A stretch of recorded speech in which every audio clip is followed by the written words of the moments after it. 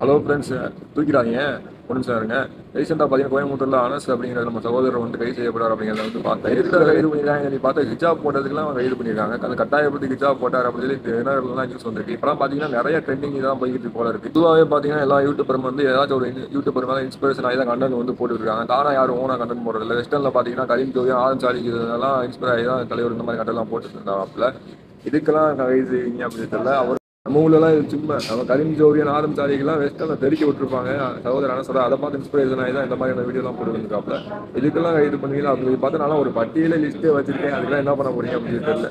நான்லாம் விளாக் பண்ணி நாலு ஒய்ஃப் மேரேஜ் பண்ணி அதை த்ரோவும் விளாக் எக்ஸ்பெரிமெண்ட் பண்ணலாம் அப்படின்னு சொல்லி எல்லாம் நான் ஐடியாவில் இருக்கேன். நீங்கள் என்னன்னா இந்த ஹிஜாப் பண்ணி வந்து கழிச்சிருக்கீங்க செய்றீங்க சகோதரர் வந்து கட்டாயப்படுத்தி நான் ஹிஜாப் வந்து அணிவிச்சதா வந்து தெரிய- எனக்கு எதுவும் தெரியல. அவங்களாம் விருப்பப்பட்டு ஹிஜாப் பண்ண மாதிரி அந்த வீடியோவில் வந்து இருக்குது அந்த வீடியோ லிங்க் வேணால் டிஸ்கிரிப்ஷனில் கொடுப்பேன். ஒருத்தவங்க வந்து அரைகுறையா ஆடை அணிகிறது எந்த அளவுக்கு ஒரு பெண் சுதந்திரமோ அதே அளவுக்கு அதே மாதிரி தன்னுடைய அங்கங்களை முழுமையாக வந்து ஆடைகளால் வந்து மறைச்சிக்கிறதும் ஒரு பெண்ணுடைய தனிப்பட்ட சுதந்திரம் தான். ஹிஜாபுங்கிறது ஒரு மதத்துக்குரியதல்ல. அது வந்து ஒரு ஆடை அதை வந்து புரிஞ்சுக்கோங்க. ஏதோ டூருக்கு போற மாதிரி யூடியூப்ல பூரா தூக்கி உள்ள போட்டீங்கன்னா யாருங்க இங்க வீடியோ போடுறது?